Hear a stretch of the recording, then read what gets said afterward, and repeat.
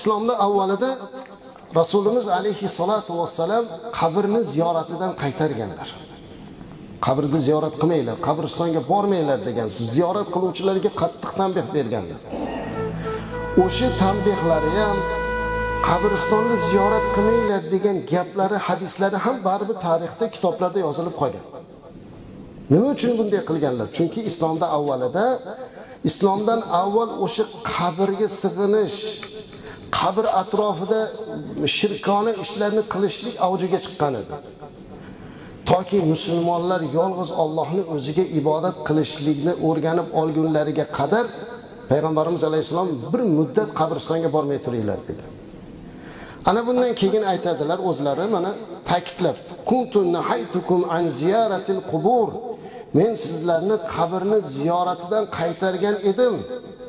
Ala fazuruha فإنه يرق القلب وتدمع العين وتذكر الآخرة. ya'ni rasulimiz alayhissalom aytyaptilarki man qabrni ziyoratini sizlarni qaytargan edim. Endi ziyorat qilaveringlar. Chunki qabr ziyorati qalbni yumshatadi ko'zni yoshlantiradi va oxiratni eslatadi. Ammo lekin qabrda fahish va yomon so'zlarni so'zlamanglar dedi imom hokim rivoyat. Demak rasulimiz alayhissalom o'zlari ta'kidlayaptilar. Man qabrni ziyoratdan qaytargan edim rost. Endi ziyorat qilinglar. Endi musulmonlar qabrga sig'inmaydigan holatga keldilar. Qabrni ziyorat qilishlikdan maqsad o'limni eslash oxiratni eslash qalbni yumshatish ekanligini bildilar. Ana shundan keyin rasulimiz alayhissalom ruxsat beryaptilar. Ana endi biz nimani tashvish qilyapmizki 14 asr muqaddam rasulimiz alayhissalotu vassalam endi ummatim qabr ziyoratini to'g'ri o'rgandi deb turib ruxsat bergandan keyin biz o'shandan avvalgi ishlarni qilishligimizga qaytib qolishligimiz bu xavf narsa bu qo'rqinchlik. Ana shuning uchun qabrni ziyorat qilishlikni payg'ambarimiz alayhissalom o'zlari ko'p bizlarga ta'kidlaganlar o'zlari ziyorat qilib berganlar. Sahobalar aytadilarki biz rasululloh sollallohu alayhi vasallam bilan safarga chiqqan edik. Makka bilan madina orasida bir joyga kelganda u zotni yo'qotib qo'ydik deydilar. Yo'q bo'lib qoldi ichimizda qo'rqib ketdik. Nima bo'ldi ekan? Biror bir tashvish. Chunki mushriklar kofirlar dushman bor. Izlab izlab izlab orqalaridan borsak bu bir joyda uzoqda ko'rdik. Juda ham uzoqqa ketib qolgan ekanlar bizni oldimizdan. Avvo degan bir qishloqda. Yo'q oldilariga borganimizda u zot biz yaqinlashayotganimizda tiz cho'kib o'tirganini ko'rdik va nimalarnidir gapirayotganini ko'rdik deydi. Keyin yaqinroq borsak u zot bir qabr oldida o'tirib qabriga qarab gapirayotgan ekan dedilar. Oldilariga borib ya rasululloh sollallohu alayhi vasallam nima gap?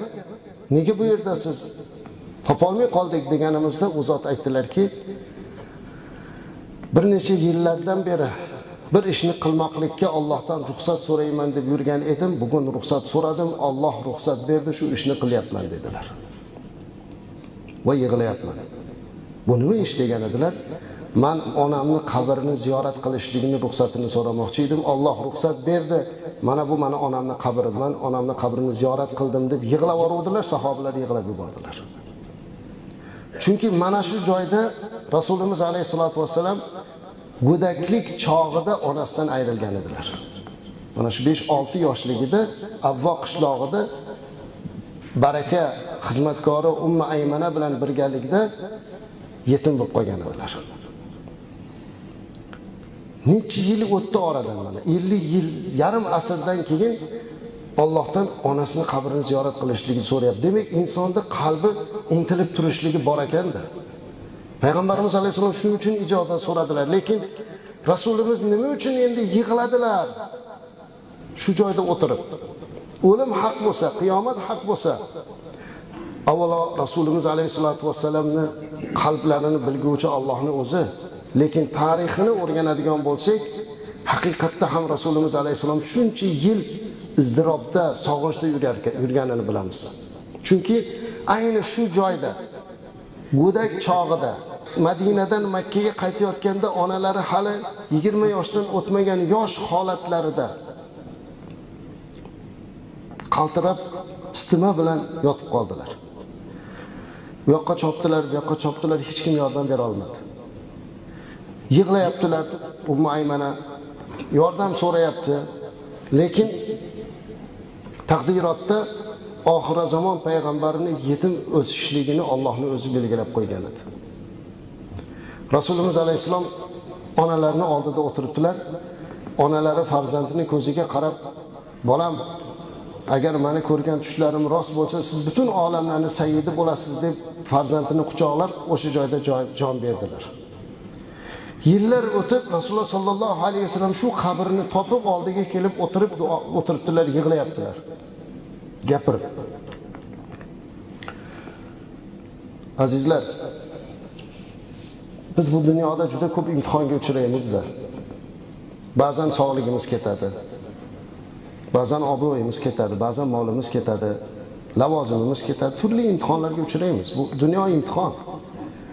Yoshimiz kattalashgan sari imtihonlarda so'rasa aytamizki, "Ey, hayotimda nimalarni ko'rmadim. Hali undoq bo'ldi, hali bundoq bo'ldi, lekin hammasi o'tib ketdi." Agarki so'rasa, mana shu hayotingizdagi imtihonlar ichida eng og'iri qaysi desa, hamma bir ovozdan onamdan ayrilish imtihoni deydi. Bu imtihon og'ir imtihon. Onadan ayrilish imtihonining eng og'irrog'ining og'irrog'i onangizni ko'z oldingizda jon berish.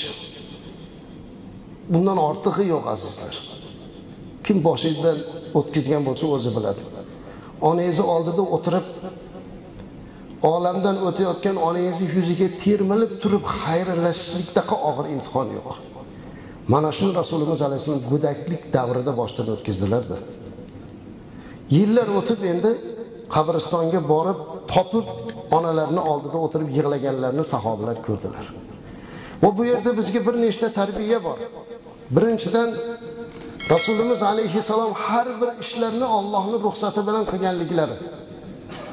qabrni ziyorat qilishlikka Allohdan ruxsat kutdilar, so'radilar. Ikkinchisi ziyorat qilib berdilar va bizga ziyorat qilishlikni ta'limini o'rgatib ketdilar.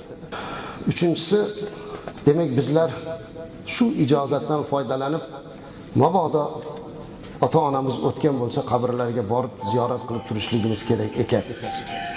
Chunki agar bu yaxshi ish bo'lmaganda payg'ambarimiz alayhissalom bu ishni so'rab qilmagan bo'lardilar. Endi ba'zan dunyo ishini bahona qilamiz, ba'zan boshqa ishlarni bahona qilamiz. Hatto ota-onamizni qabrlariga borishlikni ham unutib yuboramizda. Qachon oxirgi marta borganmiz? Qachon o'sha qabristonga birortasini ko'tarib borsak, keyin borib qo'yamiz. Biror bir kunni muhim kunlar deb hisoblab o'zimizcha xotira kuni yo palon kuni borib qo'yish kerak, odamlar gapiradi deb borib qo'yamiz. Alloh bizni kechirsin. Lekin sog'inch bilan duo uchun bir borib ziyorat qilishligimizni ham qila olmayapmiz. Zero Rasulimiz alayhissalom shuni bizga qilib berganlar.